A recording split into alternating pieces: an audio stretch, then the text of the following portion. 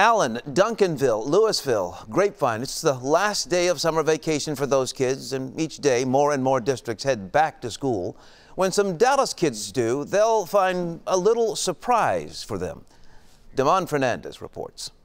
Be the best you can be. Never give up on your dreams. A few simple words. Happy first day of school. I hope that you have a wonderful school year. Meaningful messages. We are here to support you in any way possible. As community members across Oak Cliff spend the day writing encouraging notes. Have a lovely school year. Always remember, giving up is harder than trying. These inspiring messages they're jotting down are for hundreds of students heading back to schools in southern Dallas this fall. Hey, how's your day? I know it's hard, but keep pushing forward. The notes are being added to these backpacks, which volunteers are filling with school supplies that will be handed out as part of the nonprofit For Oak Cliff's annual Back to School Festival at Glendale Park this Saturday.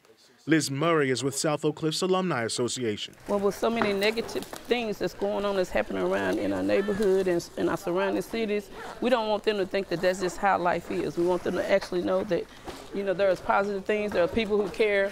Your intellect knows no bounds. Reach for the stars. Some students already believe the notes will make a difference to any child opening these backpacks. Devin Smith attends Zumwalt Middle School. These letters will kind of give them confidence, let, let them know if, if you really don't got school, you don't got nothing. The handwritten notes are meant to be a reminder there is a circle of community support cheering the students on. You are loved, you are smart, you are important. And willing to give all children a positive boost as they head back to class. They know that somebody's handing them this card saying, you're going to have a good school year. Regardless of what the circumstances are at home, you're going to have a good school year. I hope you have an awesome school year.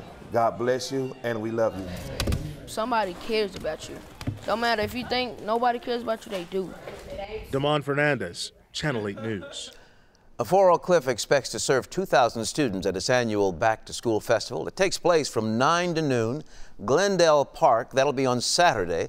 Uh, to receive a backpack and school supplies, though, families must register through For Oak Cliff's website. We've put that on WFAA.com with this story.